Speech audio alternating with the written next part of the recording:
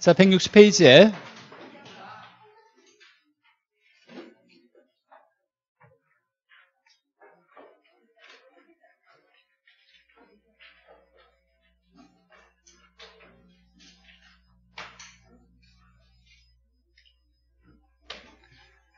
자, 위험과 수익에 대한 설명 중 옳은 거 보죠. 기대 수익률은 투자에 대한 위험이 주어졌을 때 투자자가 자, 투자하기 위해서 투자하기 위해서 충족돼야 될 최소한의 수익률 이렇게 나오면 이건 요구 수익률 얘기하는 거죠. 요구 수익률을 얘기하는 거고 기대가 아니라 요구 수익률.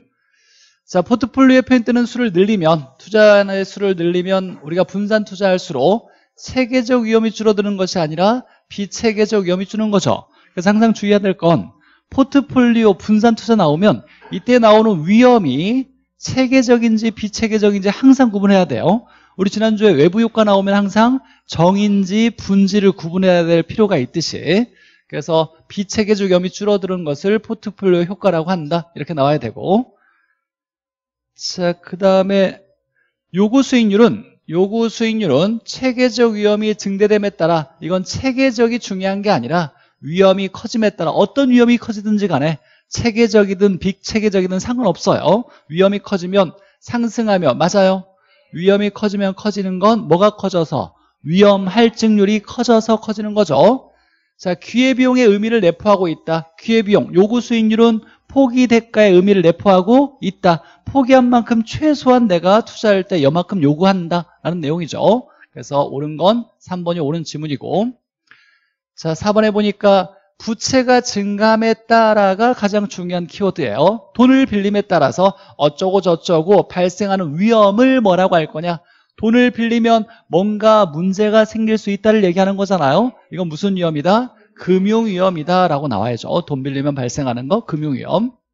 자, 위험에 따라서 위험이 추가됨에 따라 추가적으로 요구되는 수익률을 자, 요구되는 수익률 위험이 커지면 커지는 것은 무위험률의 위험할증률이에요. 위험할증률 나와야 돼요. 위험이 나오면 무조건 위험할증률.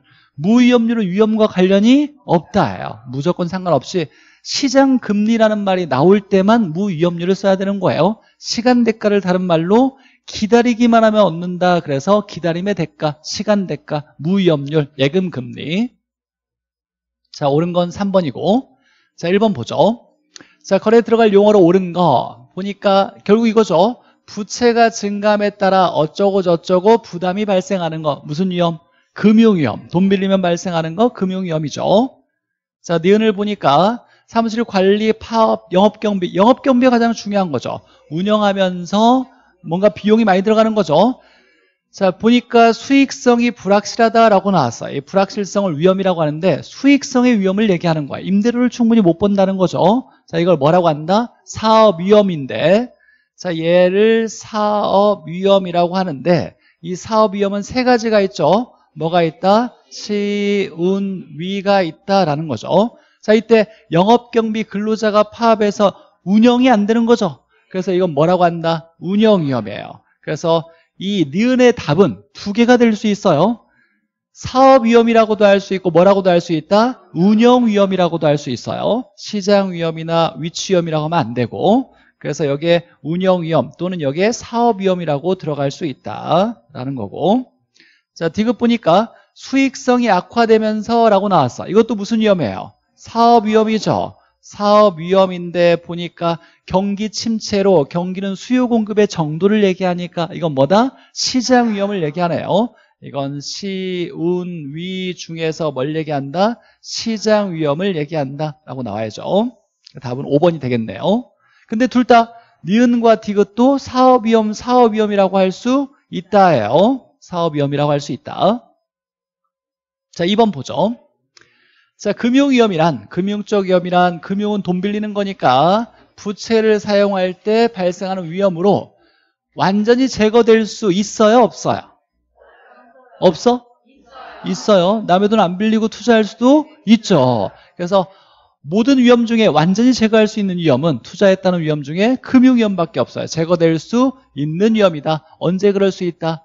100% 자기 자본으로만 투자했을 때는 돈을 안 빌리고 투자할 수 있으니까 완전히 제거할 수 있다. 자, 보수적 예측은 미래에 대한 예측을 보수적으로 하겠다, 비관적으로 하겠다, 미래 잘 안 될 거야 라고 생각하는 거예요.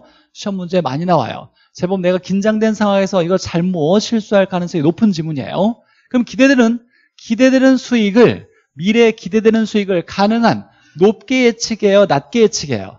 낮게 예측해야 돼요. 미래 잘 안 될 거야. 조심스럽게 투자해야 돼. 라고 얘기하는 거예요. 그래서 기대 수익률을 기대 수익률을 어떻게 한다? 낮추는 거다라고 해석해야 돼요.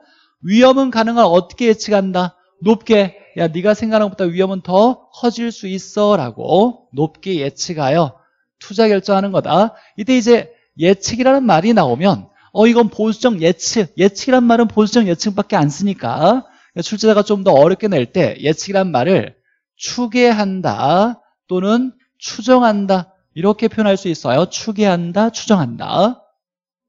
자, 3번에 보니까 자, 경기가 변했다. 인구가 줄었다. 공실이 늘었다. 근데 보니까 수익성이 악화됐다라고 나왔어요. 수익성 악화되는 건 무슨 위험? 사업 위험. 사업 위험은 시, 운, 위가 있는데 다 수요 공급, 수요, 수요 얘기하는 거죠. 그러니까 무슨 위험이다? 시장 위험. 맞네요. 3번 옳은 지문이고 자, 얘를 사업 위험이라고 할 수도 있고 사업 위험 중에서 시장 위험이라고도 할 수 있겠네요. 자, 4번에 보니까 자, 여기에 현금으로 전환하는 과정에서 손실을 볼 수 있다라고 나온 거예요. 현금으로 전환할 때 손해 볼 수 있다. 이건 유동성에 따른 위험이죠. 사업 위험이 아니라 유동성 위험. 출제자가 보너스로 낼 때 쓰는 지문이죠. 현금 전환할 때 손해 볼 수 있는 것 유동성 위험. 자, 5번에 보니까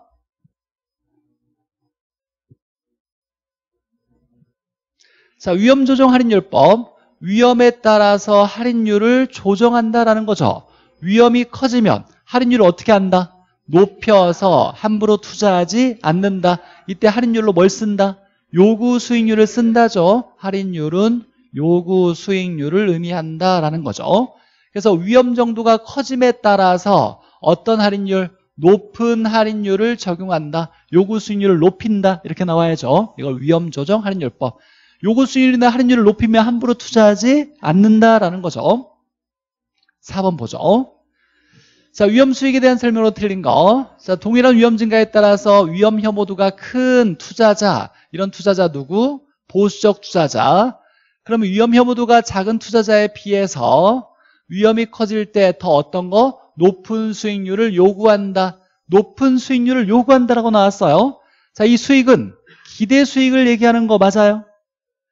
투자론에서 수익은 다 뭘 얘기하는 거예요? 기대 수익률을 얘기하는 거예요. 아, 기대 수익률 맞아요. 근데 보니까 기대 수익률을 더 요구한다잖아요. 그러니까 요구 수익률을 얘기하는 거야. 이 요구가 나왔으니까 이건 뭘 얘기하냐면 요구 수익률을 얘기하는데 이 요구 수익률은 더 높은 기대 수익률을 요구하는 수익률을 의미하는 거예요. 그러니까 수익은 말이 없어도 무조건 다 기대 수익률을 얘기하는 거예요.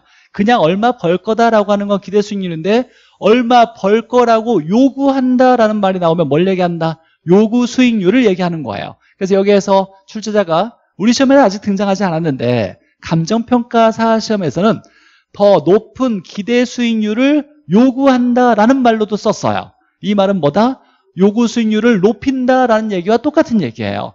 요구 수익률은 미래 더 많이 벌 거를 요구하는 수익률을 얘기하는 거예요. 그래서 기대 수익률을 더 높게 요구한다는 건 요구 수익률을 높인다라는 말과 똑같은 얘기예요. 그래서 요구 수익률을 높게 적용한다. 맞는 얘기죠. 자, 이 표현을 요구 수익률을 높인다라는 걸더 높은 기대 수익률을 요구한다라고 표현될 수도 있어요. 같은 얘기예요. 요구한다가 중요한 거예요. 요구한다. 요구한다라는 말 나오면 요구 수익률을 얘기한다. 결론은 더 높은 높은 요구하는 수익률 이 수익률은 기대 수익률을 더 높게 요구한다라는 건 요구 수익률을 얘기하는 거다. 이런 얘기예요. 자, 두 번째 보니까 기대와 요구를 비교하는데 투자 결정할 때 기대와 요구를 비교할 때 자, 투자자가 대안이 기대 수익률이 요구 수익률보다 큰 경우 투자한다 안 한다? 한다. 투자를 채택한다. 투자를 한다. 채택한다. 맞고 자, 기대 수익률이 요구 수익률보다 큰 경우 투자해요, 안 해요? 하는 거죠. 투자하면 부동산의 가치가 올라간다. 많이 살 거니까 결국 나중에는 기대가 변해서 똑같아진다 그랬죠? 기대가 크고 있죠? 컸죠? 그럼 나중에 어떻게 된다? 작아진다라고 해야 돼요. 투자는 채택한다. 그 이후에 우리가 해석한다라면 부동산의 가치는 뭐한다? 상승한다. 그 다음에 기대 수익률은 뭐한다? 하락한다라고 나와야죠. 기대가 변해서 똑같아지니까 이런 내용이었고 자 일반적으로 위험과 수익은 무슨 관계? 비례관계. 이 비례관계를 뭐라고 한다? 상쇄. 이게 반비례가 아니라 비례관계라고 나와야죠. 그래서 4번 틀렸고 상쇄관계는 비례관계예요. High risk, high return. 근데 주의할 건 위험과 가치라고 나오면 무슨 관계? 반비례예요. 위험이 크면 부동산에 투자하지 않으니까 가치가 내려갈 거다라고 얘기하는 것이 수익화하는 법에서 보여주는 걸 얘기하는 거예요. 위험과 가치는 반비례 관계고 위험과 수익은 비례 관계다. 4번 틀렸고 자 5번에 보니까 위험 회피 투자자들은 위험을 전혀 감수하지 않는 것이 아니며 위험한 건 내가 투자하지 않겠다가 아니라 위험이 커지면 그에 따른 대가를 더 요구하겠다를 얘기하는 거죠. 그래서 위험이 커지는 만큼 그에 따른 대가가 주어지면 기꺼이 투자를 채택하는 유형이다. 맞죠? 이때 위험 커질 때 더 높은 대가를 요구하는 사람이 누구? 보수적 투자자. 그러면 이 대가는 무위험률이에요? 위험할증률이에요? 위험 할증률을 얘기하는 거예요. 위험 대가를 얘기하는 거죠. 그래서 위험 할증률, 위험 대가를 얘기하는 거다라는 얘기예요. 틀린 건 4번이 틀렸고 6번 보죠. 자, 투자자가 위험을 회피할수록 이렇게 나왔어요. 이거 엄청 많이 나오는 지문이죠. 위험을 더 싫어하는 투자자일수록이라는 말이 나오면 무슨 투자자? 보수적 투자자일수록이라는 말과 똑같아요. 이때 이제 무차별 곡선의 기울기의 크기가 뭐한다? 커진다. 경사가 급해진다. 보급이라고 연화하죠. 보급. 맞는 얘기고. 자, 예금금리, 국채금리의 상승은 이라고 나왔는데요. 얘가 뭔지 알아야죠. 얘가 뭐다? 무위험률이죠. 무위험률이 커져, 커지면 요구 수익률 뭐 한다? 커진다. 맞죠? 커지면 커지고 작아지면 작아지고 무위험률 커져도 요구 수익률 커지고 위험 할증률 커져도 요구 수익률 커진다. 자, 기대가 요구보다 작은 경우라고 나왔네요. 기대가 요구보다 작으면 투자하지 않는다. 자, 투자를 안 하니까 안 산다는 거죠.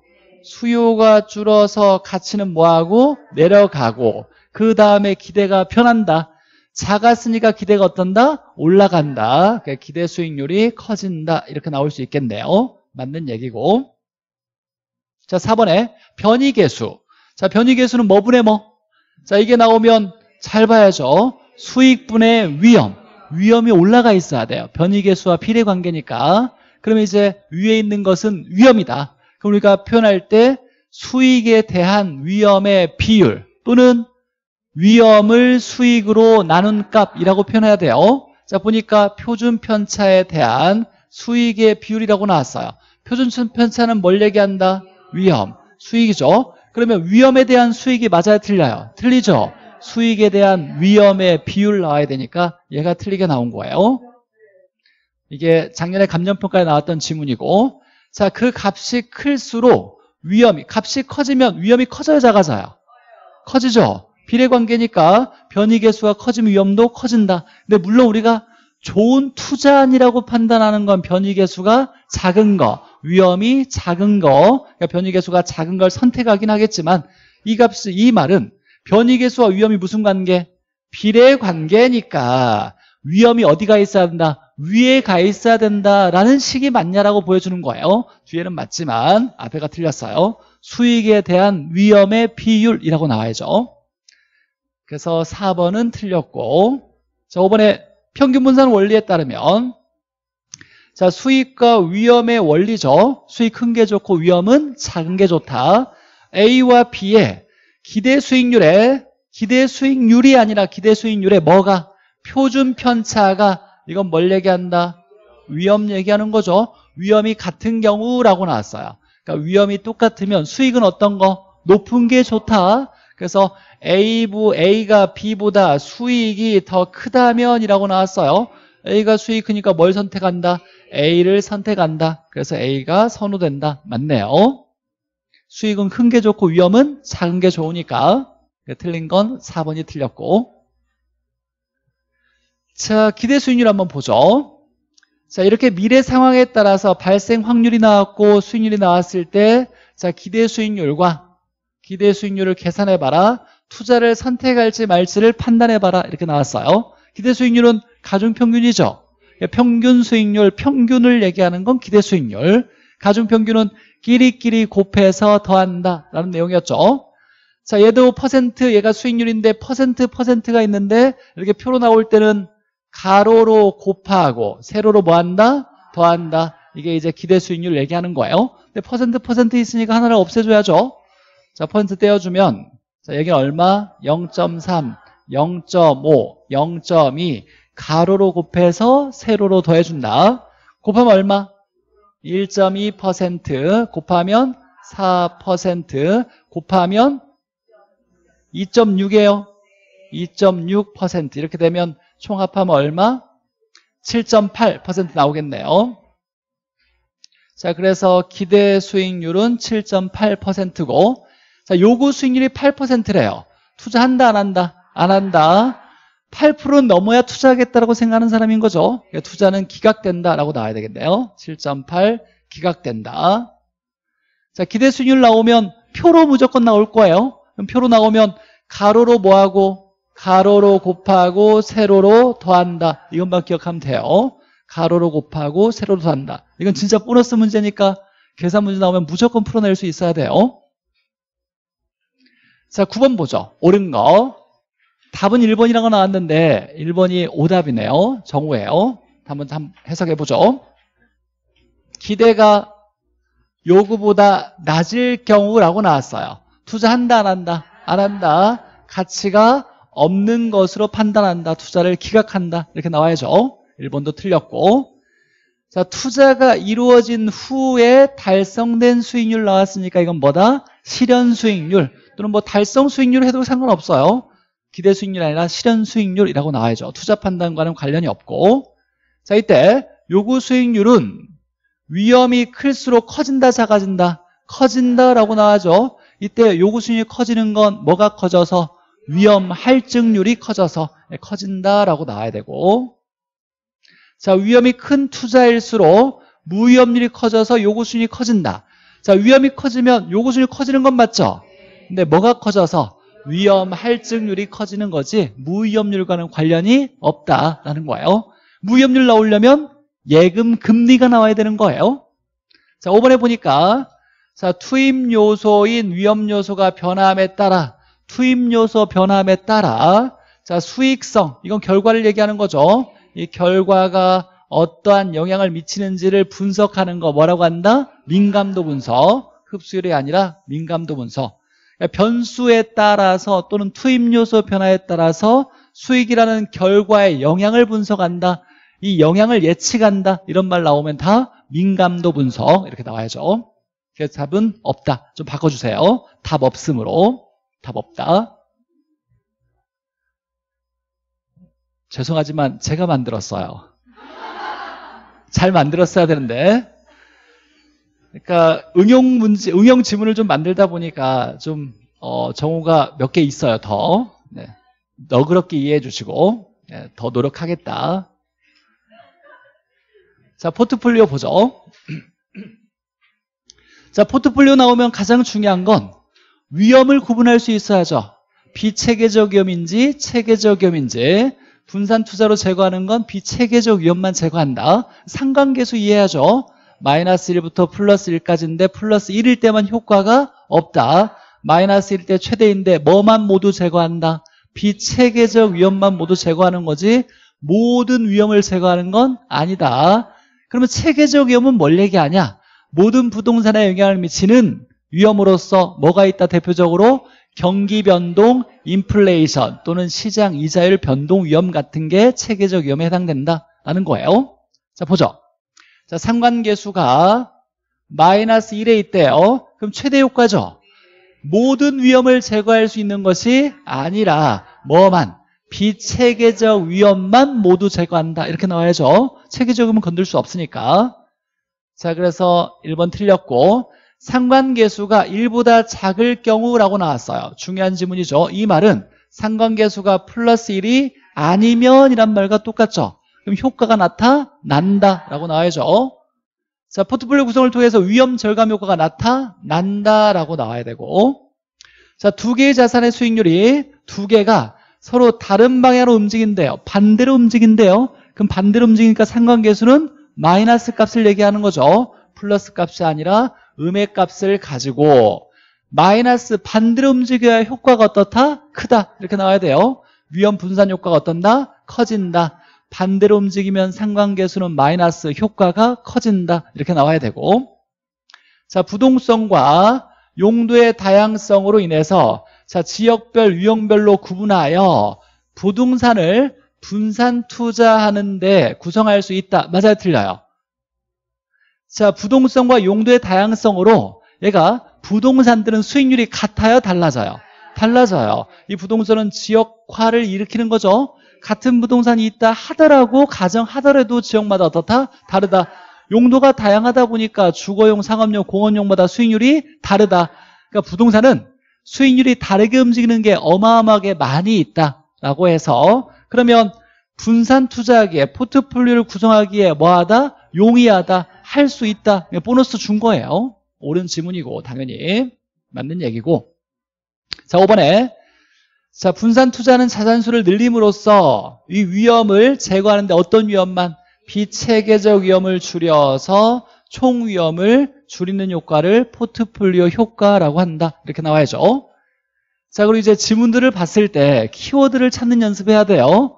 이게 아직 어려우면 가능한 연습해야 돼요. 문제 지문을 볼 때 내가 중요하다고 생각하는 걸 자꾸 체크해 나가면서 반복하면 내가 처음에는 잘못 체크할 수도 있어요 반복하다 보면 시간이 지나서 이 지문을 두 번, 세 번, 네번 읽다 보면 어, 중요한 지문은 이거였네 키워드가 이거네 여기에 단어가 20개로 이어진 지문이라고 하더라도 우리가 해석해야 되는 핵심 키워드는 두 단어, 세 단어밖에 안 돼요 그것만 딱 체크해도 맞다 틀리다를 구분할 수 있는 거니까 연습해야 돼요 가능한 체크해야 돼. 형광펜으로 하든 동그라미를 치든 줄을 치든지 간에 중요한 단어가 어떤 건지를 스스로 찾아내려고 연습을 해봐야 돼요.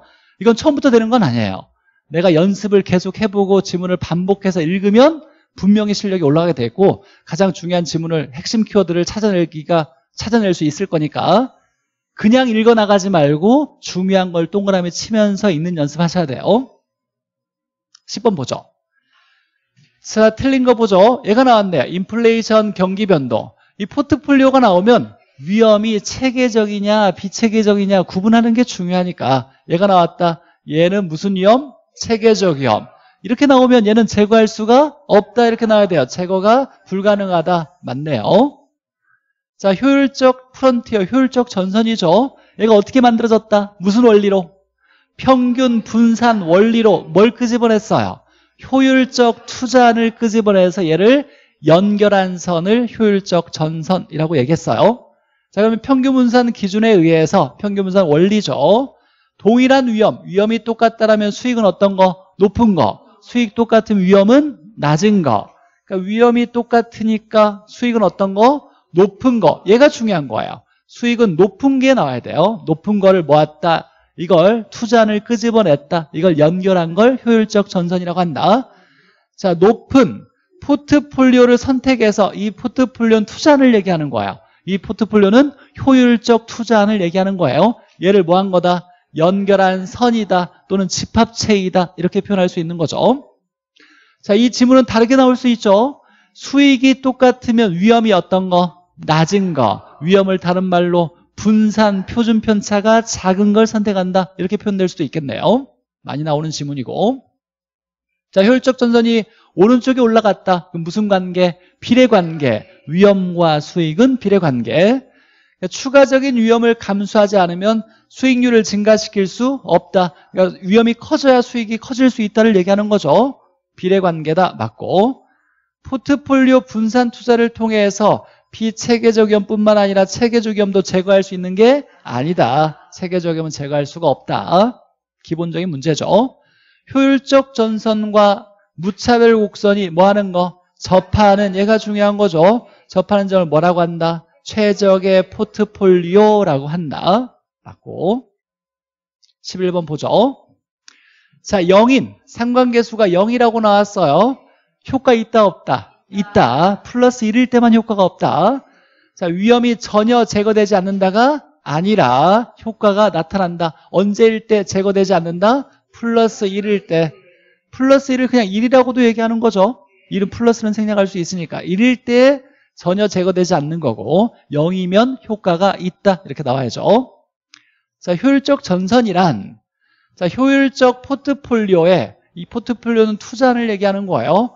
효율적 투자안의 집합으로 자, 평균 분산 원리로 인해서 좋은 투자안을 끄집어낸 걸 이걸 연결한 것을 집합이라고도 얘기해요. 선은 점들의 집합체다 이렇게 얘기하니까 자, 동일한 위험에서 얘가 중요한 거예요. 위험이 동일하면 수익은 어떤 거? 가장 높은 거 이렇게 나와야 돼요. 최고의 수익을 나타난 점들을 연결한 선이다. 맞네요.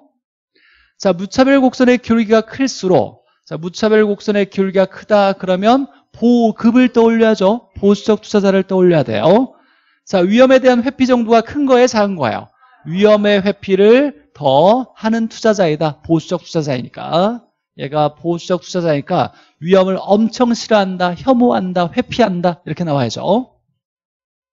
자, 그래서 옳은 건 2번이 낫 2번이 옳은 지문이고 자, 4번에 보니까 포트폴리오 전략에서 구성자산 수익률이 동일한 방향으로 같은 방향으로 움직이면 자, 상관계수가 플러스예요, 마이너스예요?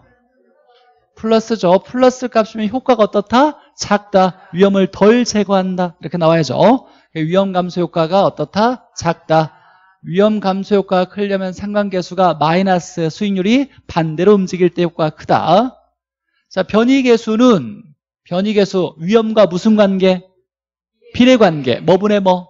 수익분의 위험. 위험이 위에 올라가 있어야 돼요. 자, 수익률 올리기 위해서 감소된 위험의 비율로, 위험의 비율로. 맞아요? 위험의 비율로. 맞죠? 위험과 비례 관계니까 위험의 비율로 표준 편차에 대한 수익의 비율 맞아요 틀려요 틀리죠 수익에 대한 표준 편차의 비율이라고 나야 돼요. 표준 편차는 위험이니까 얘에 대한 얘의 비율이 아니라 수익에 대한 위험의 비율 수익에 대한 표준 편차의 비율 이렇게 나와야죠. 변이 계수는 수익분의 표준 편차 수익분의 분산 수익분의 위험이라고 표현해야 돼요. 옳은 건 2번이고. 자 13번 보죠. 자, 우리가 결국 이제 기대 수익률 문제는 이 문제가 나올 건데 포트폴리오 문제로 자, 기대 수익률을 구하는 건데 자, 분산 투자할 때 여러 개를 분산 투자했을 때 기대 수익률 그러니까 포트폴리오의 기대 수익률을 얘기하는 거예요. 호황일 수도 있고 불황일 수도 있다. 그러면 이제 가중 평균을 총 세번을 해 봐야 돼요. 근데 시간 얼마 걸리지 않으니까 무조건 연습해서 맞을 수 있어야 돼요. 여기도 퍼센트가 있으니까 여기도 퍼센트가 있으니까 하나를 없애줘야죠. 첫 번째 맨 앞에 있는 퍼센트를 없애준다. 그럼 얘를 없애주면 얼마? 0.2, 0.3, 0.5 이렇게 될 거고. 자 호황 불황 있는데 먼저 호황 먼저 하고 나중에 불황 해야 되겠죠? 얘 없다 생각하고. 자 그러면 가로로 뭐하고? 곱하고. 세로로 더하면 얘가 기대 수익률 나오는 거죠? 자 곱하면 얼마? 1.2%얘 곱하면 2.4%얘 곱하면 5% 더하면 8.6%가 호황일 때 기대 수익률. 자, 그럼 불황일 때도 구해야죠. 이렇게 가로로 곱하고 세로로 더하면 이건 불황일 때 기대 수익률. 곱하면 0.8, 얘는 1.2, 얘는 2. 다 더하면 4 이렇게 되겠네요. 자, 그 다음에 이제 전체 기대 수익률을 구하려면 그냥 더하는 건 아니죠. 호황일 확률이 얼마? 50% 불황일 확률도 50% 이미 퍼센트가 있으니까 여기 얼마? 0.5 호황일 확률은 0.5 불황일 확률이 0.5 이렇게 해서 한 번 더 끼리끼리 곱해서 더하면 전체 기대 수익률 나오는 거죠. 그럼 얼마 나오냐면 6.3% 이렇게 나오겠네요. 자 기대 수익률을 구하는데 포트폴리오 기대 수익률은 가중평균을 세 번 하는 거지만 이 가중평균 하는 자체가 어려운 건 아니니까 가로로 곱해서 세로로 더하고 가로로 곱해서 세로 더해서 한 번 더 이 호황일 때와 불황일 때 확률을 가중평균하면 전체 나오는 거죠. 연습하면 무조건 1분 내 풀어낼 수 있어요. 연습해야 돼요. 이런 거 하나 풀어내는 게 훨씬 말 문제 공부하는 것보다 훨씬 수월한 거다. 이제 기- 계산 문제도 정말로 많이 했으니까 익숙해져야서 자기만의 풀 수 있는 계산 문제 유형을 정해놓고 연습해야 돼요. 앞으로 진짜로 학교론을 합격하는 데 있어서 가장 필요한 계산 문제를 내가 네 문제, 다섯 문제, 여섯 문제 풀겠다 이런 마음이 있다라면 매일 다섯 문제씩만 풀면 돼요. 그러니까 10분도 안 걸려 사실 다섯 문제 푸는 거. 풀었던 거 또 풀고 또 풀고 또 풀고 이건 너무 지겹다. 이거 완벽하겠다. 내가 무조건 풀겠다. 그러면 다른 문제 다섯 문제 정해서 계속 풀고 풀고 풀고 아침에 5분 10분만 투자하면 돼요. 매일이 어렵더라면 학교는 공부할 때마다 10분 20분 투자해가지고 10문제 20문제 매번 풀면 무조건 계산 문제 네다섯 문제 풀면 학교로는 무조건 60점 넘을 수 있어요. 말 문제 기본적으로 마지막까지 열심히 공부하면 무조건이에요 사실. 그 연습을 안 해서 그런 거예요. 뭐 결론은 뻔하지. 공부를 안 해서 점수가 안 나오는 거죠. 자, 포트폴리오 이론 보죠. 자, 상관계수가 0인 두 개의 자산으로 하면 자, 포트폴리오 위험 감소 효과가 최대가 아니다. 이게 이제 작년에 나왔던 지문이죠. 최대가 나오려면 얼마야 돼요? 마이너스 1이어야 돼요. 근데 0을 썼다는 말은 나중에 0을 쓰려고 하는 거예요. 0일 때 효과가 나타난다라고 해석해야 돼요. 이것도 기억해놔야 되고. 그래서 1번이 틀렸고. 자, 나머지 한번 보죠. 자, 기대 수익률은 개별 자산의 수익률에 가중 평균하여 구한다. 기대 수익률은 뭐에서 구한다? 가중 평균. 그래서 우리가 뭐라고도 하냐면 평균 수익률이라고도 하고 평균이란 말은 수익을 얘기하는 거예요. 기대 수익률. 자, 3번에 보니까 포트폴리오 이론은 분산 투자함으로써 위험을 분산시킨다. 이 분산은 줄인다를 얘기하는 거예요. 위험을 줄인다를 분산시켜서 안정된 수익을 얻으려는 이론이다. 맞는 얘기고. 자, 평균 분산으로 투자 판단이 불가능할 때는 뭘 쓴다? 변이 계수를 쓸 수 있어요. 근데 얘는 뭐와 비례다? 위험과 비례니까 큰 걸 찾아야 돼요? 작은 걸 찾아야 돼요? 작은 거. 얘가 중요한 거죠. 작은 것이 유리한 투자 아니라고 판단한다. 그래서 변이계수는 뭐분의 뭐다? 수익분의 위험이다. 이때 위험을 뭘로 표현할 수 있다? 분산 표준 편차로 표현할 수 있다라는 내용이었죠. 자, 개별 투자자가 위험을 기피할수록이라고 나왔어요. 중요한 표현이죠. 위험을 싫어하는 투자자일수록이라고 나온 거예요. 무슨 투자자? 보수적 투자자일수록이란 말과 똑같아요. 보수적 투자자일수록 요구 수위를 뭐 한다? 높여서 함부로 투자하지 않는다. 무차별 곡선의 경사도 급하다. 이렇게 해석해야죠. 자, 앞에 시간 같이 보죠. 자, 1번에 연금의 현가에 감세를 곱하면 일시불 현가가 되냐? 일단 잘 모르겠고 넘어가서 나머지 해석해보죠. 연금의 현가 계수와 감채기금 계수의 역수 관계다. 맞아요? 틀려요? 현저한 역수죠. 연금의 현이 나오면 저당 상수가 나와야 되겠죠. 자, 3번에 보니까 자, 원금 균등이 나왔어요. 맞아요? 틀려요? 틀리죠? 무조건 원리금 균등이 나와야 돼요. 화폐의 시간 가치와 관련돼 있는 저당 상수가 사용되려면 원리금이 똑같아야 연금이 되니까 원금 균등이 아니라 원리금 균등에서 대출을 받았을 때 대출금으로부터 뭘 매기 매기에 내는 원리금을 산정하려면 계산하려면 뭘 사용한다? 저당 상수를 사용한다. 뒤에는 맞지만 앞에 원리금 균등이 나와야 돼요. 원리금이 연금이 돼야 된다라는 내용이에요. 자, 4번에 보니까 자, 연금의 미래가치 계수를 공식 계산하는 공식에서는 이자 계산은 무조건 뭘로 한다? 복리 방식. 우리 계산은 무조건 다미 연금뿐만 아니라 일시불을 계산하는 모든 이자 계산은 다 복리로 계산한다. 자, 5번에 보니까 자, 뭐가 사용될 거냐? 연금의 미래 가치 계수를 사용한대요. 돈 보고 언제 시점으로 구하냐? 이거 찾는 거예요. 자, 돈을 한번 보죠.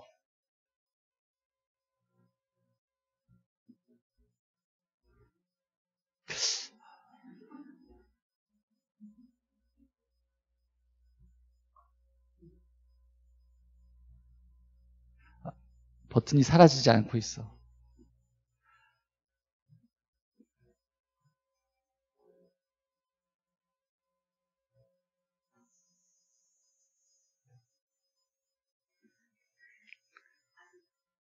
보죠 그냥 자 5억 원 나왔어 이거 일시불이죠 일시불이고 얘를 뭘로 구하려고 하는지를 봐야죠 어쩌고 저쩌고 저쩌고 했을 때 5년 후에 주택의 가격을 계산할 수 있다라고 나왔어요.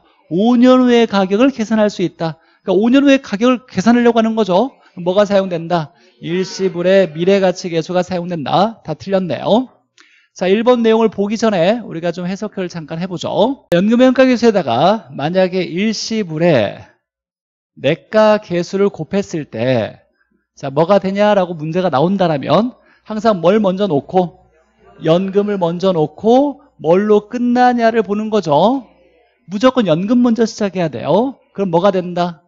연금의 내가 계수가 된다. 이렇게 쓸 수 있다는 거예요. 그럼 간단히 한번 본다라면 자 만약에 일시불의 현가라고 나왔어요. 여기에 연금의 내가 계수가 나왔어요. 그럼 뭐가 될 거냐라고 한다면 뭐 먼저 시작하고 연금 먼저 시작하고 뭘로 끝난다? 현가로 끝난다. 이렇게 돼야 되죠. 뭐가 될 거냐면 연금의 현가 계수가 된다. 이렇게 해석해야 되겠네요. 자, 그럼 이제 연금과 일시불이 나오면 바로 눈에 띌 수 있어요. 뭐가 된다? 근데 감채와 저당 상수가 나오면 이게 바로 눈에 안 들어와요. 그럼 얘를 넘겨서 역수로 바꿔주는 거예요. 이 꼴을 넘어가면 그대로 곱하기로 되고 역수로 바뀐다예요. 그럼 한번 보면 이제 문제에서 뭐가 나왔는지 보면 연금의 현가계수에 감채를 곱했더니 일시불의 현가가 됐다 이렇게 나왔네요. 연금의 현가에다가 감채를 곱했더니 일시불의 현가가 됐다는 거죠. 그럼 얘를 넘겨야 돼요. 넘기면 뭘로 바뀐다? 역수로 바뀐다. 얘를 넘겨보죠. 넘겨서 그럼 여기에 곱하기 그대로 쓰고 역수가 되면 감채 역수는 뭐다? 연금의 내가죠. 그럼 다시 오른쪽을 보니까 연금의 내가와 일시불의 현가를 곱했다는 얘기예요. 그럼 이제 뭐가 될 거냐라고 할 때 항상 뭐 먼저 놓고 연금 먼저 놓고 얘가 첫 번째 뭘로 끝난다? 현가로 끝난다라는 거죠. 뭐가 된다? 연금의 현가가 된다. 여기 보니까 연금의 현가가 된다. 맞는 얘기예요. 그래서 저당상수가 나오도 감채가 나와도 이 말이 나오면 이 감정평가에서 계속 나오고 있는 지문이에요. 이 말이 나오면 넘겨서 연금계수로 바꾼다라는 얘기예요. 다시 한번 보죠. 한 문제를 한번 풀어보면 자 만약에 연금의 내가계수에 저당상수를 곱했더니 여기에 일시불의 현가 계수가 나왔다. 자 이게 맞냐라고 물어봤어요. 맞냐라고 그러면 얘를 뭐 해야 돼요? 넘겨서 뭘로 바꾼다? 역수로 바꾼다. 넘겨보죠. 그럼 여기에 곱하기로 바뀌고 저당상수 역수는 연금의 현가계수가 된다. 자 맞아요 틀려요? 여기에 연금현가와 일시현가잖아요. 이게 연금의 내가가 되는 거야? 아니죠. 뭐가 나와야 돼? 일시불의 현가가 아니라 일시불의 내가가 나와야 연금에서 내가로 끝난다. 그 연금의 내가가 나와야죠. 그럼 이렇게 나오는 지문은 틀렸다라고 해석하는 거예요. 무슨 말인지 알겠죠?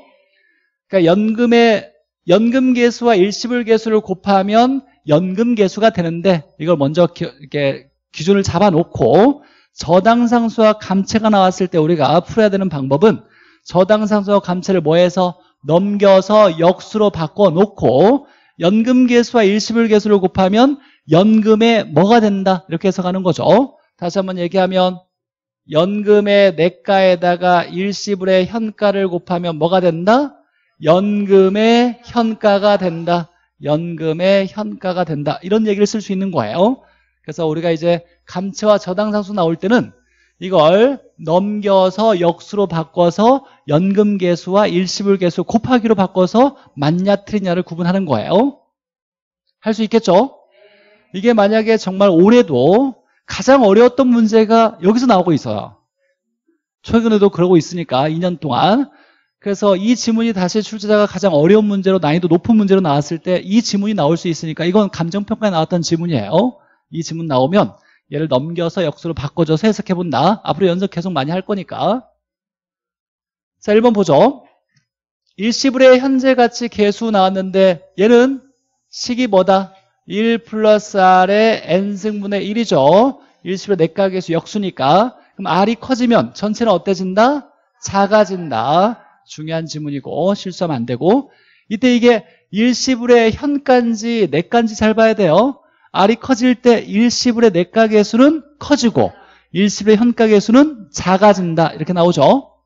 자, 연금의 미래가치란 개수가 아니라 연금의 미래가치란이라고 나왔어요. 연금을 미래로 바꿨을 때 총합을 얘기하는 거죠. 원금만을 얘기하는 거에 이자까지 합친 거예요. 이자까지 합친 걸 얘기하는 거예요. 매 기간 일정 금액을 연금을 넣었을 때 미래 시점에서 원금과 이자의 총액을 말한다. 이걸 미래의 연금의 미래 가치, 연금의 내가라고 한다. 맞고 3번 보죠. 자, 5년 후에 3억을 모으기 위해서라고 나왔어. 이 모으기 위해서 3억을 만들기 위해서 미래 목표액을 얘기하는 거예요. 보니까 자, 얼마씩 불입해야 되는지에 적금액 또는 납입액 또는 불입액을 계산하려면 이라고 나왔죠. 미래 돈을 모으려고 얼마씩 돈 내야 되냐라고 한다면 뭐가 사용된다? 감채가 사용된다죠. 자 그러면 여기로부터 얘를 계산하려고 하니까 식을 떠올려 봐요. 미래 목표액으로부터 적금액을 계산하려면 미래 목표액 곱하기 감채는 적금액, 납입액 이렇게 나와야죠. 그럼 3억 원에 뭘 곱한다? 연금의 현가계수가 아니라 감채를 곱한다 라고 나와야죠. 근데 다른 표현도 있죠. 감채 말고 다른 표현. 연금의 내가계수의 역수를 곱한다 라고 나와도 돼요. 우리가 이제 역수라는 관계가 있으니까 표현이 두 개씩 등장할 수 있는 거예요. 감채를 다른 말로 연금의 내가계수의 역수를 곱한다 이렇게 써도 돼요. 자 곱하여라는 표현까지 우리 시험에 나왔어요. 그래서 뭐에 뭘 곱하냐? 여기에 적금액에 이렇게 나온다라면 아직 이렇게 나오진 않았지만 혹시나 이렇게 나온다는 건 당연히 틀렸다는 것도 구분할 수 있어야 돼요. 여기에 적금액에 감채를 곱하여 계산한다. 맞아요? 틀려요? 틀려요. 적금액에 곱하는 게 아니라 뭐해? 3억 원 미래 목표액에 감채를 곱해야 돼요. 무슨 말인지 알겠죠? 얘로부터 얘를 구하는 거니까 여기에다가 감채를 곱하면 얘가 구해진다라는 얘기예요. 자, 4번에 보죠. 자, 매월 말 50만 원씩이라고 했는데 보니까 매월 말 50만 원씩의 연금을 얘기하는 거죠. 자, 연금이 나왔을 때 자, 예상되는 임대료 수입의 현재 가치를 계산한다라고 나왔어요.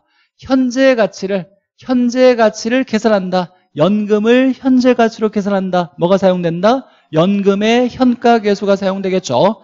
이걸 다른 말로 뭐라고 해요? 저당 상수의 역수라고도 할 수 있겠네요. 그러니까 중요한 건 이 역수가 있느냐 없느냐를 잘 봐야 돼요. 역수가 있으니까 실수하면 안 된다. 이건 뭐라고 한다면 연금의 현가 계수를 얘기한다라는 거죠. 그래서 얘도 옳은 지문이고 자 5번에 일시불의 현가계수의 역수는 일시불의 현가계수는 일시불의 내가계수이고 맞아요? 맞죠? 일시불은 현가 내가 역수 관계이고 저당상수 역수는 뭐다? 연금의 현가계수이다 현저한 역수다 틀린 건 3번이 틀렸고 자 3번 보죠. 옳은 거. 원리금 균등 나왔어요. 일단 맞죠? 원리금 균등 맞고 자 대출받은 가구에서 상환할 금액. 우리가 갚는 건 뭘 갚는 거다? 원리금을 갚는 거죠. 상환할 금액은 원리금을 얘기하는 거죠. 그래서 대출금으로부터 원리금을 산정하려면 뭐가 사용된다? 저당상수. 역수가 있으면 돼요? 안 돼요? 안 돼요. 그냥 저당상수를 사용한다. 이렇게 나와야 돼요 그러니까 역수가 있는지 없는지를 꼭 연습을 해봐야 되고 잘 봐야 돼요 옳은 거. 자, 미래에 3억 원을 모으기 위하여 라고 나왔어요. 미래 목표액을 모으기 위해 얼마씩 내야 되는지 불이백을 계산하려면 납입액, 불이백, 적금액을 계산하려면 뭐가 사용된다? 감채. 연금의 미래가치 계수가 아니라 감채가 사용된다. 또는 다른 말로 연금의 미래가치 계수의 역수가 사용된다. 이렇게 표현될 수 있죠. 자, 3번에 잔금을 계산하기 위해서는 연금의 현가, 현재 가치 계수를 활용한다. 맞아요? 틀려요? 맞아요. 일단 볼 거고 일단 맞고 4번 보죠. 임대기간 동안의 월 임대료를 모두라고 나왔어요. 작년에 나왔던 지문인데 임대료를 한 번 낼까요? 여러 번 낼까요? 모두라고 나왔으니까 여러 번 냈다는 거죠. 임대료를 똑같이 내겠죠? 그럼 얘는 임대료는 일시불의 연금이에요. 연금 얘기하는 거예요. 연금을 현재 시점의 가치를 산정한다고 나왔어요. 연금을 현재 가치가 얼마냐라고 물어봤으니까 뭐가 사용된다? 연금의 현가 계수가 사용된다. 이렇게 나와야죠. 연금의 현가 계수가 사용된다. 5번에 보니까 8억 원이라고 돈은 일시불 나왔어. 이런 거 해석하려고 하지 말고 돈만 보는 거예요. 일시불이 나왔고 여기에서 현재 나대지의 금액을 산정하려면 이라고 나왔어요. 현재 가치를 계산하려면 이라고 나왔으니까 일시불의 현가 계수가 사용된다. 이렇게 나와야죠. 자, 틀렸고. 자, 3번. 3번. 결론만 얘기할게요. 이제 원리를 알고 싶은 분들은 전에 사실 공부를 해서 열심히 했을 거고 지금 단계는 원리보다 이제 결과적으로 암기하려고 노력하셔야 돼요. 자, 우리가 잔금 비율 한번 보죠. 나뿐만 아니라 많은 선생님들이 버벅거릴 거야, 처음에는. 잔금 비율 보죠. 그러면 잔금은 올라가야 돼요? 내려가 있어야 돼요? 올라가야죠. 잔금의 비율이니까 잔금이 올라가야 되고 일반적으로 비율 나오면 전체분의 뭐 이렇게 나오는 거죠. 그럼 잔금에서 전체는 뭐예요? 빌린 돈 중에서 못 갚은 돈, 빌린 돈 중에서 갚은 돈이라는 거죠. 그럼 여기에 대출금이에요. 대출금의 대출액분의 잔금 이렇게 나와야죠. 상환 비율은 뭐분의 뭐예요? 여기 상환액이 올라가야죠. 상환액이 올라가고 아래는 대출금이라고 나와야죠. 그럼 내가 10억 중에 5억을 10억 중에 4억을 못 갚았다. 갚은 돈은 10억 중에 6억이다. 그럼 얘와 얘를 더하면 얼마? 더하면 1 된다. 더해서 1 되는 게 두 가지가 있죠. 대부 비율 더하기 지분 비율은 1. 잔금 비율 더하기 상환 비율 합도 1. 이렇게 나오는 거죠. 자, 이걸 바탕으로 해서 그러면 우리가 식을 하나 만든다면 얘를 구하려면 얘하고 얘를 뭐 하면 돼요? 곱하면 되겠죠? 그래서 이제 중요한 식이 작년에 처음 등장했던 유형이에요. 잔금을 구하려면 대출에다가 대출액에다가 대출금에다가 뭘 곱한다? 잔금 비율을 곱한다라는 얘기예요. 일단 이 식을 해석할 수 있어야 돼요. 잔금은 대출금 곱하기 잔금 비율이다. 이 잔금 비율을 어떻게 구하냐면 연금의 현가 계수를 이용할 수 있어요. 여기에 연금의 현가 계수분의 연금의 현가 계수인데 연금의 현가 계수를 생각해 보면 이런 내용이에요. 우리가 돈을 빌렸어요. 여기서 돈을 빌려가지고 돈을 빌렸는데 이걸 계속 나눠서 계속 갚는 거죠. 그래서 계속 나눠서 이렇게 갚을 거예요. 그러면 여기에 해당되는 건 뭘 얘기하는 거예요? 얘는 대출금이죠. 대출금이고 여기에 해당되는 건 뭐다? 원리금을 얘기하는 거죠. 그러니까 대출금을 미래 갚다 보니까 이자를 더해서 매번 나눠서 원리금을 갚는 거예요. 당연하죠. 미래 갚으면 이자가 더해줘야 되니까. 그럼 여기 있는 돈을 땡겨와서 이자를 다 빼주면 대출금이 될까요? 돼, 안 돼? 똑같아야지, 당연히. 맞아요. 화폐 시행 가치로 나눠줬는데 이게 원리금이 똑같다라면 당연히 이 말은 말이 없어도 원리금 균등 방식이고 빌렸을 때 바로 갚으면 이자를 줄 필요가 없는데 나중에 갚으니까 이자를 줘야 되고 나눠서 갚는다는 얘기예요. 근데 얘가 원리금 균등이니까 원리금이 똑같을 거 아니에요. 원금과 이자 더해진 거 이걸 모두 합쳐서 이자를 탁 빼내버리면 뭐가 되는 거예요? 대출금이 되는 거예요. 그럼 이걸 떼내서 여기 있는 걸 모두 합쳐서 현재 시점으로 딱 땡겨 오려면 뭐가 사용돼야 돼요? 얘들은 일시불의 연금이에요. 연금을 뭘로 바꾸는 거예요? 이 시점을 현재 시점으로 봤다는 얘기예요. 그럼 뭘 곱해줘야 된다? 연금의 현가 계수를 곱해주면 돼요. 이 대출기간이 만약에 20년이라면 몇 년짜리? 20년짜리를 곱해주면 연금 현가 계수를 곱하면 이자가 싹 빠지고 대출금이 된다는 얘기예요. 자 그런데 내가 중간에 갚았다는 얘기예요. 요만큼 갚아서 자 여기 시점에서 자, 이 돈이 얼마냐라고 얘기한다면 갚은 건 이제 신경 쓸 필요 없죠. 못 갚은 녀석을 땡겨오면 얘가 뭐가 되는 거예요? 잔금이 되는 거예요. 잔금. 그러면 남은 기간 동안 이자를 떼서 딱 땡겨오면 얘가 잔금이 된다는 얘기예요. 얘도 땡겨와야 되니까 뭘 곱해주는 거예요? 연금의 현가 계수를 곱해주는 거예요. 근데 중요한 건 얘는 전체 기간짜리가 아니라 뭐예요? 자녀 기간짜리를 땡겨와야 돼요. 여기에 자녀 기간을 땡겨와야 된다라는 얘기인 거예요. 자 그러면 잔금 비율은 땡겨오는 걸 쓰는데 여기에 대출금 걸 써야 되고 잔금 걸 써야 되잖아요. 그렇죠? 그럼 한번 생각해 보죠. 자, 이걸 땡겨 오려면 식은 어떻게 돼야 돼요? 뭐를 뭘로 바꾸려면 연금을 연금의 현가로 바꾸려면 연금의 현가 계수를 곱하는 거잖아요. 그럼 대출금을 구하려면 얘가 연금의 현가를 의미하는 거예요. 뭐에다 뭘 곱해야 돼요? 연금에다가 연금의 현가 계수를 곱하겠죠. 여기에 연금 곱하기 연금의 현가 계수 몇 년짜리? 전체 20년짜리를 곱해줘야 돼요. 근데 잔금을 구하려면 연금을 땡겨와야 되잖아요. 근데 이제 자녀 기간 걸 땡겨와야 되니까 연금의 현가계수를 쓰긴 하는데 전체 걸 아니라 자녀 기간 걸 써야 돼요. 만약에 여기에 5년 갚았다. 그럼 여기 몇 년 된다? 15년 되겠죠. 그래서 이 잔금을 구하려면 뭐에다가 연금에다가 연금의 현가계수를 곱하는 거예요. 이때 뭘 곱한다? 자녀 기간을 곱하는 거예요. 이렇게 하면 구할 수 있는데 위에 아래 연금이 똑같이 있으니까 이걸 약분시키니까 남는 건 뭐밖에 없어요. 연금의 현가계수만 남는 거예요. 근데 얘와 얘가 똑같은 게 아니에요. 값이 다르죠? 아래는 뭐 거? 전체 기간 거. 위에는 뭐? 자녀 기간 걸 써야 되는 거예요. 그래서 이 잔금 비율을 연금의 현가계수분의 연금의 현가계수를 쓰는데 전체 기간 거분의 자녀 기간 걸 쓸 수 있다라는 얘기예요. 자, 그래서 우리 문제는 잔금을 구해라 라는 문제가 이제 작년에 처음 등장했어요. 올해 나올 가능성이 굉장히 높아요. 보너스 문제예요. 원리만 알면. 자, 그러면 이 식을 끄집어낼 때는 이 비율은 우리가 이제 익숙해져 있어야 돼요. 잔금 비율이니까 잔금이 어디 간다? 위에 간다. 이것 먼저 외우려고 하지 말고 위에 거 먼저 이해해야 돼요. 잔금 비율은 잔금이 위에 가야 된다. 전체분의 잔금.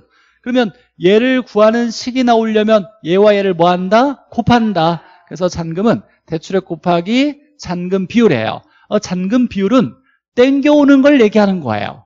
전체를 땡겨오면 대출금이고 자녀기간 걸 땡겨오면 잔금이 되는 거예요.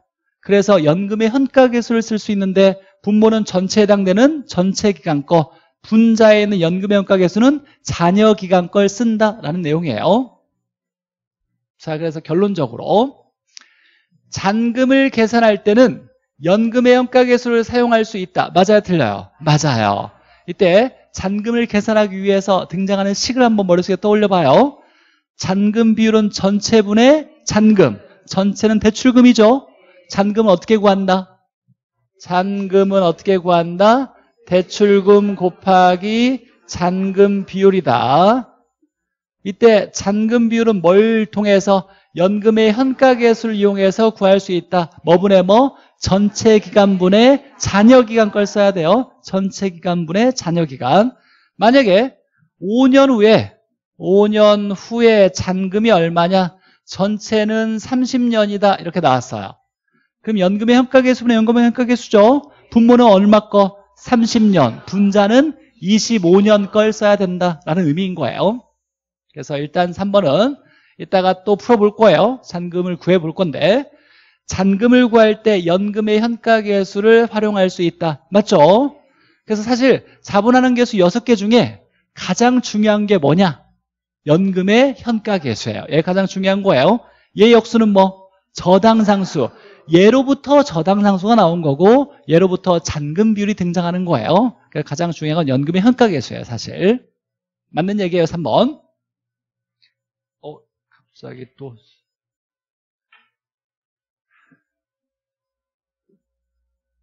자, 4번 보죠.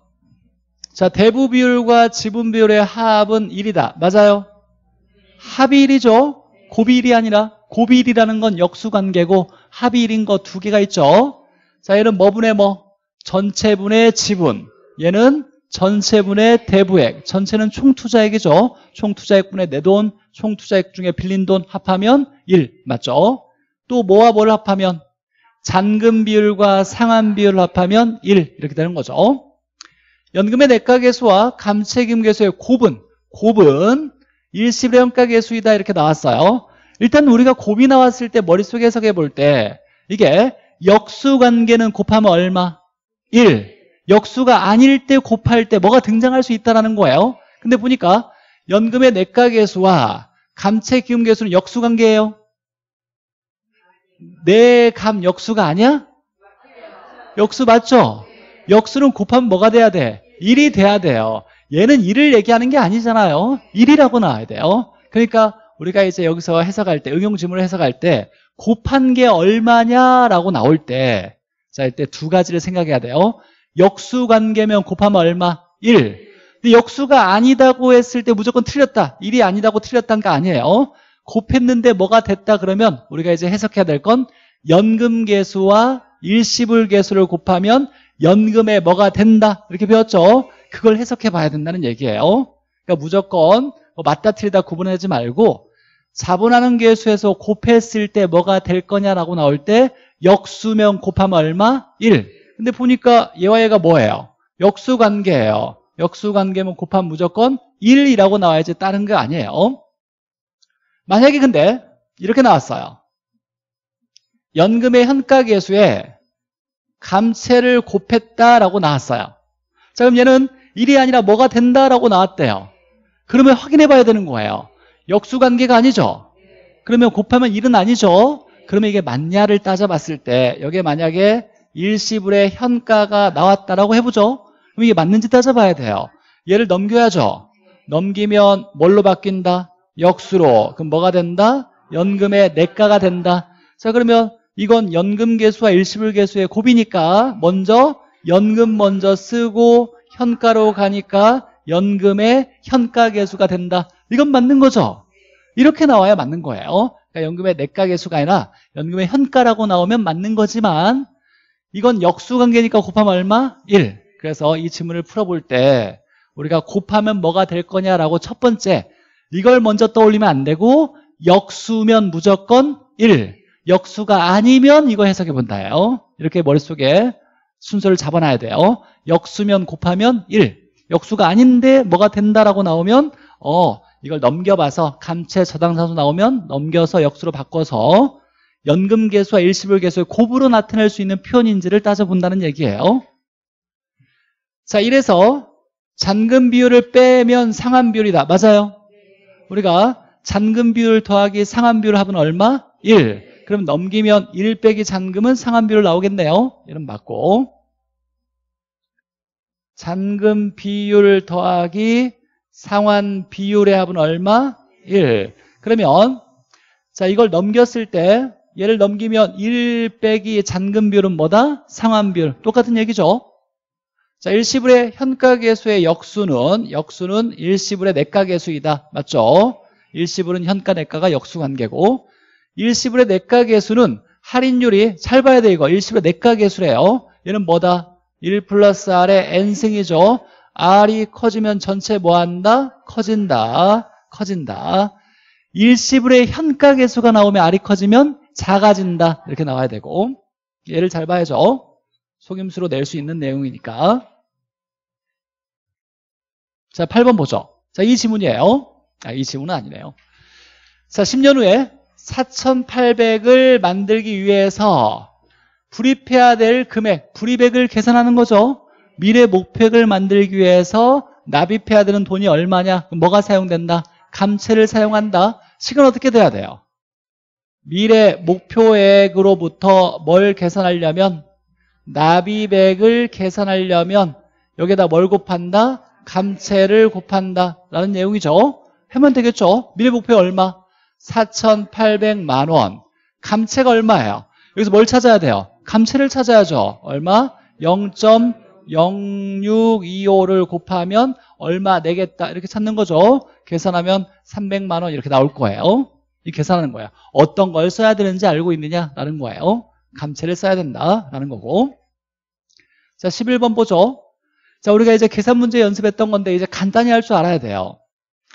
자 3년 동안 매년 연말에 천 원씩 넣었을 때 자 그러면 3년 동안 연말에 천 원씩 넣었으니까 연, 연금을 얘기하는 거죠. 연금 문제고 3년 후에 연금의 미래 가치가 얼마냐라고 물어봤어요. 그럼 머릿속에 야 연말에 문제가 나오면 수직선을 그려서 체크를 한다 3년이니까 세 칸을 그려야죠 어떻게 적는다? 여기에 현재, 여기에 1년 말, 여기에 2년 말, 여기에 3년 말 이렇게 적어놓고 돈을 천 원씩 넣는데 만 원 떼고 매년 연말에 넣었죠. 현재 넣었다 안 넣었다? 안 넣었다. 여기에 천 원, 여기에 천 원, 여기에 천 원 이렇게 하고 3년 말에 이 돈의 총합이 얼마냐가 연금의 내가를 얘기하는 거죠. 자 그러면 이 돈을 그냥 합치면 3천 원인데 야 이자 계산해서 이 시점에서의 돈의 총합이 얼마냐 이렇게 묻는 거죠. 자 그러면 얘는 이자가 붙어요 안 붙어요? 안 붙죠. 그대로 3년 말에 천 원이니까 천 원 적고 얘는 이자가 붙겠죠. 몇 년? 1년 곱하기 얼마? 이때 보니까 이자율을 10%니까 R은 0.1이죠. 그럼 곱하기 1.1에 1승 해주면 될 거고 얘도 이렇게 보내면 이자가 붙겠죠. 몇 년? 2년 붙겠네요. 그럼 곱하기 1.1에 2승 이렇게 하면 되겠네요. 이걸 모두 합하면 얼마다? 연금의 내가 이렇게 되겠죠. 그러니까 이제 그동안의 연습은 이 연금에 대한 수직선의 표가 이해가 됐다라면 이게 머릿속에 탁 있다라고 한다라면 계산은 간단해요. 어, 맨 마지막 3년 거는 1000원 그대로 있을 거고 야 2년에 넣었던 건 1년 이자가 붙어야 되니까 곱하기 1.1을 할 거고 그 다음에 여기 1년 말에 있는 1000원은 3년 말로 바꾸려면 2년이 붙을 거니까 1000 곱하기 1.1에 2승 이거 계산하는 거예요 그래서 이건 이제 머릿속에 있고 굳이 안 써도 머릿속에 있을 정도로 익숙해져 있어야 되고 이것만 딱 써가지고 얘는 이자가 붙어요 안 붙어요? 안 붙는다는 게 중요한 거예요. 얘는 3년 말에 있는 천 원은 3년 말에 얼마겠냐라고 물어봤다면 이자가 붙지 않는다. 그대로 내려오는 거다 라는 거죠. 그리고 얘는 1년 이자 얘는 2년 이자 붙어가지고 총합은 3,310원 이렇게 나오겠다라는 거죠. 연습에서 이제 올해 이 문제가 나올 때가 됐어요 시점이. 예상은 틀릴 수도 있어요. 근데 제 느낌상 나올 때가 됐어요 올해 아니면 내년쯤에 다시 나올 때가 된 문제니까 연습해놔야 되고 만약에 현재 가치가 얼마냐라고 이 문제에서 물어봤다면 야 여기에서의 이 돈들의 총합이 얼마야? 그러면 연금의 현가를 얘기하는 거죠 자 그러면 이제 얘는 어떻게 해야 돼요? 얘 땡겨와야죠 몇 년? 1년 그럼 1년 할인해야 되겠네요 그럼 나누기 1.1에 1승 얘는 몇 년 땡겨와야 된다? 2년 땡겨야 되니까 나누기 1.1에 2승. 얘는 몇 년? 3년 땡겨와야죠. 나누기 1.1에 3승에서 총합을 구하면 이건 뭐다? 연금의 현가 얘기하는 거다. 얘는 1, 2, 3승 다 나누는 거죠. 연금의 내가는 여기서는 곱하기 안 하는 거예요. 1승, 2승만 해주는 거다. 이 차이가 있어요. 이걸 외우려고 하지 말고 이 그림을 통해서 왜 그런지 연말이기 때문이에요 연말 시점에 연금이기 때문이에요 자 13번 보죠 자 이런 문제도 우리 연습해 봤으니까 감사합니다 댓글을 남겼다 자 보죠 자, 현금 유입과 유출을 감안했을 때 순연금 흐름이며 라고 나왔어요. 자, 그러면서 이 유입의 현재 가치가 얼마냐? 수입의 현재 가치를 구해라 라고 나왔네요. 자, 수입을 보니까 이렇게 나왔어요. 자, 근데 이 돈들의 현재 가치가 얼마냐? 화폐 시장 가치를 고려해서 1년 후에 2년, 3년, 4년, 5년 후에인데 이걸 다 현재로 땡겨왔을 때 얼마냐라고 물어봤죠. 각각 할인하면 되겠죠. 1년, 2년, 3년, 4년 할인하면 좋겠는데 할인율이 안 나왔어요. 대신에 더 쉽게 해라 라고 나왔어요. 뭐가 나왔는지 봤더니 아, 할인율 나왔네. 그러니까 고생해도 괜찮아. 그럼 얘는 어떻게 해야 되냐면 나누기 1.1에 몇 승? 1승. 얘는 2승. 이렇게 해가지고 다 나눠가지고 구해도 괜찮는데 보니까 여기에 더 쉽게 자본하는 개수가 나왔어요. 5년짜리 연금의 현가 개수가 3.7907이 나왔고 일시불의 현가 개수가 이렇게 나왔대요. 자, 그럼 이제 해석해보면 이건 5년 후에 일시불의 현가 개수라고 나온 거예요. 5년 후에. 자, 그러면 연금이 5년짜리가 나왔잖아요. 근데 연금은 지금 130원이 4번밖에 안 보이네요. 근데 5년짜리를 줬으니까 5년 연금을 만들어줘야 돼요. 그래서 우리 돈은 나눌 수가 있어요. 여기에 130원만 있다고 하고 나중에 얼마? 1300원은 따로 계산해야 되겠다라고 떼어놓을 수 있죠 그럼 연금은 총 몇 년이에요? 5년이죠 얘를 한 번에 땡겨올 수 있다는 얘기죠 자, 한 번에 딱 땡겨오려면 우리가 식이 연금 곱하기 연금의 현가 계수는 연금의 현가는 거죠. 연금 얼마? 하나죠, 하나. 하나, 연금 하나에다가 5년짜리 연금의 현가 계수가 얼마? 3.79079를 곱하면 얘가 뭐다? 연금의 현가. 이 130원 다섯 번 있는 것을 한 번에 땡겨온 거예요. 자, 그래서 얘 얼마 구하고, 얘도 땡겨와야 되겠죠? 얘를 땡겨오려면 일시불을 땡겨오는 거니까 뭘 사용한다? 일시불의 현가 계수를 사용하는 거죠. 얼마? 0. 1300 곱하기 0.620921 하면 정확히 값이 딱 더해져서 얼마가 나오냐면 1300만 원 이렇게 딱 나와요. 자, 그래서 자분하는 개수를 사용하면 더 쉽다라는 거예요. 다만 이 문제의 가장 중요한 포인트는 이거죠. 얘가 5년짜리예요. 연금이 연금의 현가 계수가 5년짜리가 나왔다. 연금은 지금 그냥 보기에는 4년밖에 안 보여요. 5년을 만들어주는 게 포인트죠. 돈을 나눌 수 있으니 여기에 130원만 있고 나중에 1300원 따로 계산해야 되겠다. 그럼 연금이 총 5년이 만들어지니까 5년짜리 연금의 현가 계수를 사용할 수 있고 나머지 돈 1300만 원만 일시불로 땡겨오면 되겠다라는 거죠. 자본하는 계수를 이용하면 훨씬 수월하게 구할 수 있다. 자, 이 문제가 계속 출제되고 있는 유형이니까. 자, 이 문제 한번 보죠. 간단하니까.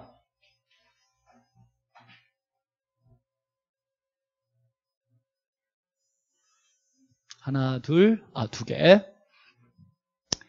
자, 보니까 대출 잔액이 얼마냐? 대출 잔액이 뭐예요? 잔금이죠. 잔금을 구해라. 자, 봤을 때 1억 원을 대출받았다. 원리금 균등 방식이다. 잔금을 구해라. 그럼 머릿속에 한번 떠올려 보죠. 잔금 비율은 뭐분의 뭐? 대출금분의 잔금. 잔금을 어떻게 구한다? 곱해야죠. 대출금 곱하기 잔금 비율. 잔금은 이렇게 구하는 거예요. 대출금 곱하기 잔금 비율 이렇게 할 수 있다. 근데 이제 잔금 비율은 연금의 현가 계수를 이용할 수 있다는 거죠. 연금의 현가 계수분의 연금의 현가 계수인데 뭐분의 뭐? 전체분의 잔여기간이라고 나온 거예요. 자, 그럼 보죠. 대출금은 1억 원이래요. 100이라고 쓰면 될 거고 그럼 이제 잔금 비율은 연금의 현가 계수는 연금의 현가 계수죠. 근데 여기 몇 년짜리? 전체가 총 보니까 30년이죠. 30년짜리 연금의 현가 계수를 써야 되고 5년 후에니까 잔여기간은 몇 년? 25년. 연금의 현가 계수를 25년짜리를 쓰면 되겠네요. 자, 근데 보니까 주어진 것이 자, 30년짜리의 저당 상수가 나왔고 25년짜리 연금 의 현가 계수가 나왔어요. 그러니까 25년권 쓰면 되겠네요. 180.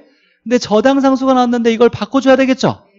30년짜리 연금 의 현가 계수로 바꾸려면 얘와 저당 상수는 무슨 관계다? 역수 관계다. 그래서 30년짜리의 연금의 현가 계수는 얼마냐면 0.005분의 1 이렇게 쓰면 되겠네요.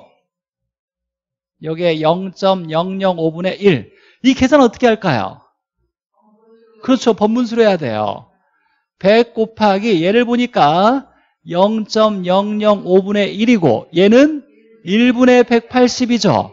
그럼 우리가 이걸 계산할 때 맨 위와 맨 아래를 뭐하고 곱하고 가운데는 나눈다. 이런 나눌 필요가 없죠.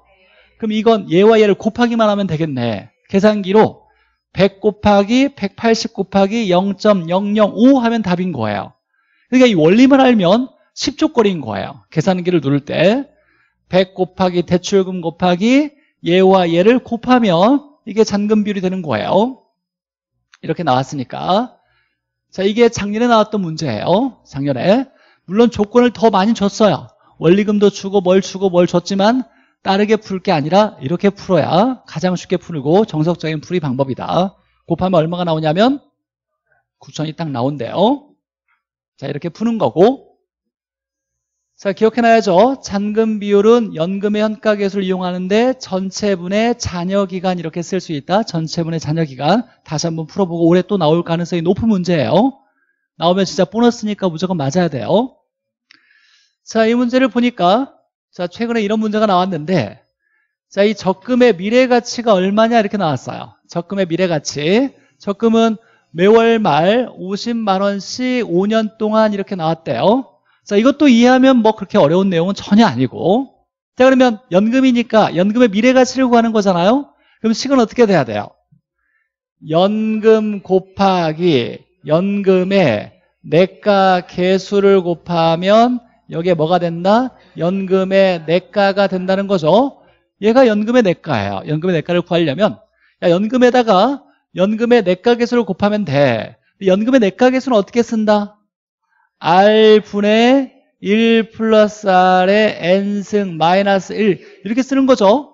자 그런데 중요한 건 이 연금이 연 기간이 아니라 월 기간으로 나왔어요. 월 기간으로. 그러니까 월, 월 복리로 계산해라라는 얘기예요. 우리는 말이 없는 모든 식은 다 연을 기준으로 한 거예요. 연 기간으로 쓴 건데 이걸 월, 월 매월 50만 원씩이니까 연금이 매월 나왔으니까 월로 바꿔줘야 된다는 거예요. 자, 이 R은 뭐예요? 이자율이죠.